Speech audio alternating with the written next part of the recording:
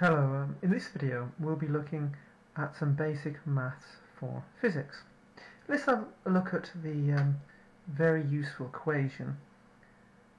Speed equals distance divided by time. Now that is an equation um, that you will, will have come across in um, other courses previous to the A-level or the IB. Now, say for instance we wish to rearrange that in terms of time. So we knew what S and D was and we wanted in terms of time. Um, we could of course just put the numbers in for S or D or better still we arrange it so we write the equation as T equals something. Now how would we do that? Now you may have been familiar with using a triangle and you may remember the triangle as distant, speed and time. And you cover it one letter so that is time is distance over speed. Speed is distance over time. Distance equals speed times time.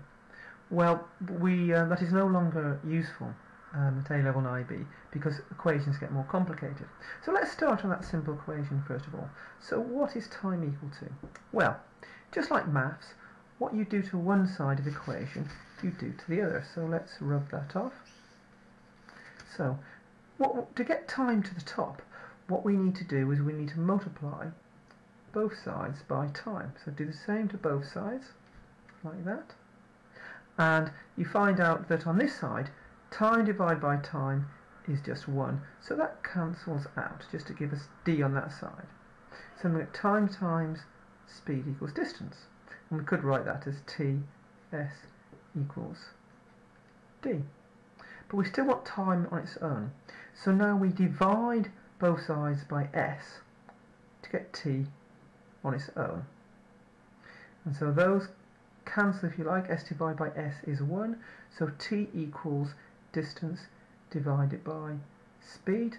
So time is equal to distance divided by speed. Okay, nice and simple. Okay, now that could have worked with the triangles just as well.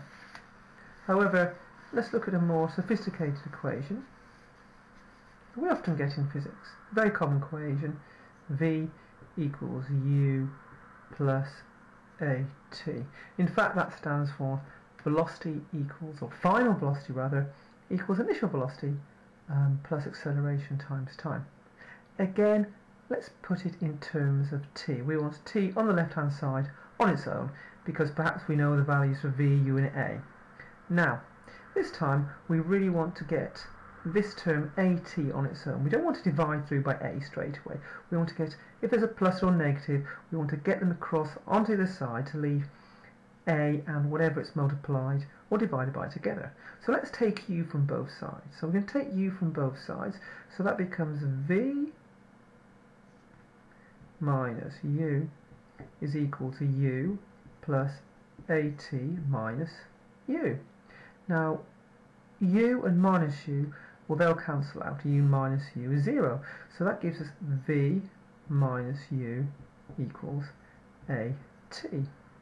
Now that we've just got t multiplied by um, another another letter or number on that side and no adds or or takeaways or adds or minuses, which is better. What do we do now? At this stage here, now we divide through by a. So, at over a is equal to v minus u over a. Now a divided by a can cancel, it's just a divided by a is just 1. 1 times t is t. So t equals v minus u uh, divided by a.